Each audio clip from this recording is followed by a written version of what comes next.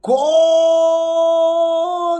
con la explicación de los chicos de SMATE de segundo año de bachillerato por mi asistente, vamos a explicar el numeral 3 que tiene que ver con el 3.7, practica lo aprendido de la unidad 2.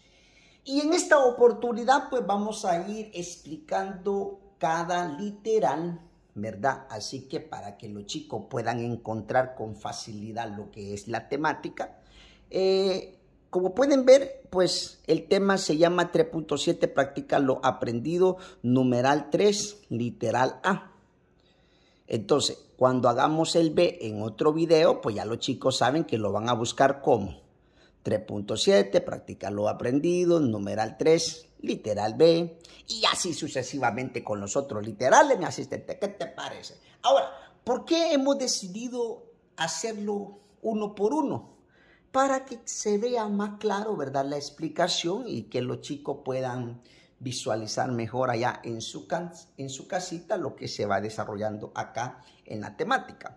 Así que esperamos de que entiendan y ya ellos ya saben de que nosotros eh, no lo podemos hacer en un solo video todo lo que es el tema, ¿verdad, mi asistente? Porque lamentablemente nosotros grabamos con un celular, no con, con una cámara profesional como lo hacen otros.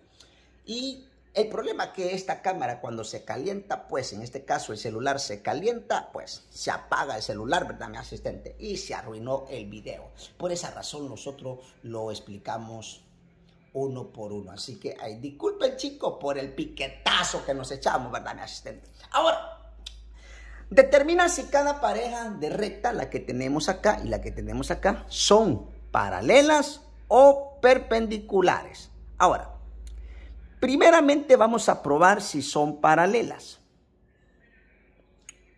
Y para que estas rectas sean paralelas, tienen que tener la misma pendiente. No hay que perder de vista eso. Ahora, nos vamos a dar cuenta de que la que tenemos acá es de la forma y es igual mx más B. Donde B es, en este caso, menos 5. Y M es, en este caso, el 3. Y ya sabemos nosotros que a M se le conoce como pendiente. Se le conoce como pendiente. Ah, eso significa entonces de que la pendiente de esta recta, que es m, ¿quién es? Es 3. Es igual a 3. Ahí lo tenemos, ¿verdad, mi asistente?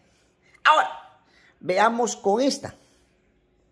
Bueno, la que tenemos acá es de la forma y es igual mx, donde a m se le conoce como pendiente. Entonces, en este caso, M, que es la pendiente, ¿quién es? Según la forma que tenemos, M, que es la pendiente, es 3. Si nosotros comparamos, tenemos lo que es que la misma pendiente. O sea que esta recta,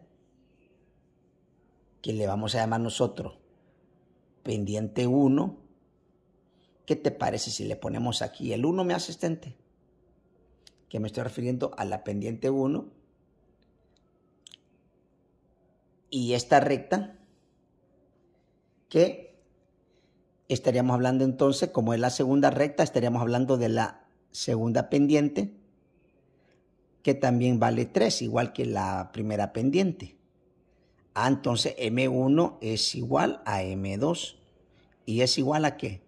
ambas valen 3. Por lo tanto, podemos darnos cuenta nosotros de que esta recta y esta recta son paralelas. Porque poseen la misma pendiente. Ahora, veamos si, si es perpendicular mi asistente. Bueno, vamos a probar si es perpendicular. Para que sean perpendiculares, ya los chicos ya saben de que el producto de su pendiente, o sea, M sub 1 por M sub 2 tiene que ser igual a qué? A menos 1, para que sean perpendiculares. Veamos si es cierto. ¿Cuánto nos dio en M sub 1? Nos dio, bueno, aquí lo tenemos, 3. Como este es un producto, vamos a decir por, lo vamos a dejar así como por. Y M, M sub 2, ¿cuánto nos dio? Nos dio 3. Igual a menos 1.